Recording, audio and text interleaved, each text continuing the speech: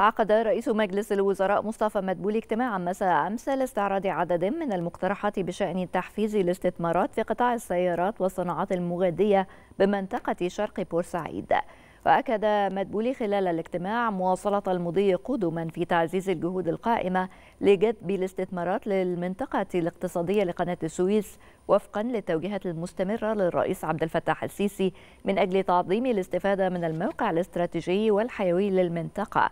بما يسهم في أن تصبح من المناطق الرائدة والجاذبة على مستوى العالم في الصناعات المختلفة.